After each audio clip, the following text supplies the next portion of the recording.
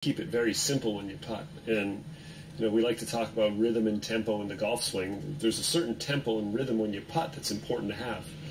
Uh, I would never say that my rhythm and your rhythm have to be the same. You know, everybody's got a unique rhythm. You know, you look at Tom Watson; he kind of has a quick looking stroke.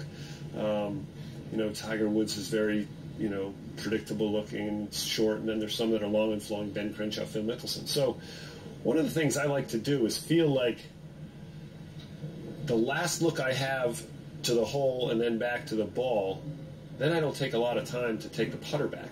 And people say, "Oh, you're always trying to get me to putt faster." I'm not trying to get people to putt faster. I'm get, trying to get people to react to a target or react to the line that you have in your mind.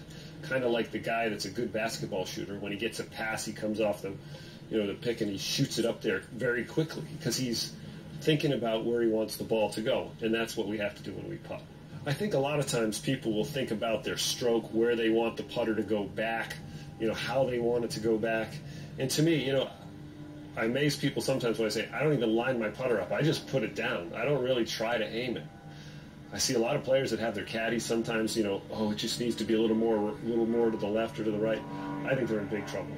Okay, so once you end up putting it down, how long do you say you take from the time you take the last look at your target? It's almost like the putter's going before my eyes get back to the ball.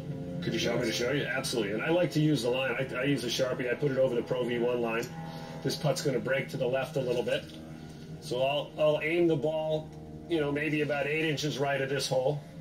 I imagine the ball starting off on the line.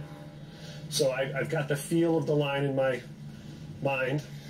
I get up to the side of the ball, I look down the line, and I take a practice stroke. And the practice stroke is very similar to the stroke I'm going to use to hit the ball.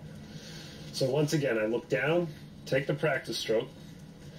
I put the putter down. I don't aim it. I just put it down behind the ball. I look once. I get in my stance. I look again. And then I putt.